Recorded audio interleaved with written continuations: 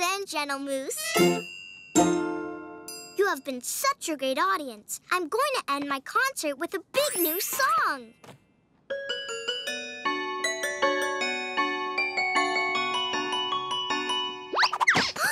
oh, no! My piano's run out of notes. How can I finish my big new song all the way to the end?